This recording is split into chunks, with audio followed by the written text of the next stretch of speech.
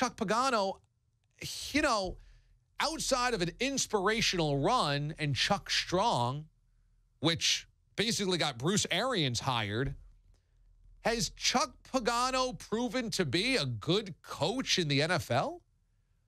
It's hard to believe they got to an AFC championship game. It is it not almost impossible to believe they were playing for a Super Bowl in Foxborough for Deflategate. Either Deflategate feels five minutes ago or it feels seven years ago. I can't figure out which one, but that was the game that the Colts were playing to get to a Super Bowl two years ago. They're only getting worse. And I know the roster's bad, but I don't know, man. Is it Chuck Pagano or has it just been Andrew Luck kind of putting that team on his shoulders the last couple of years? Chuck Pagano was this close to losing by 30 points at home to the Chiefs two years ago in the playoffs. And then there was that huge comeback by the Colts.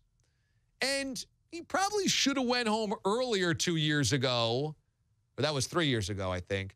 Two years ago when they went to Denver and Peyton Manning's arm was falling off. And John Fox, like, kind of didn't care. So the whole team played like garbage that day. The Broncos played like total dog food. I mean, these are a couple of the playoff wins the Colts have had. I just can't convince myself that Chuck Pagano is a very good coach. So to me, if I'm Jim Irsay, I'm looking for two new guys, at least a new GM. And I know it's dicey having a coach inherited by a new GM.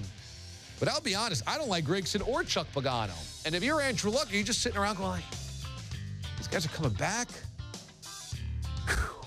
I know you like continuity. I know you like that, but there's a fine line between that and insanity.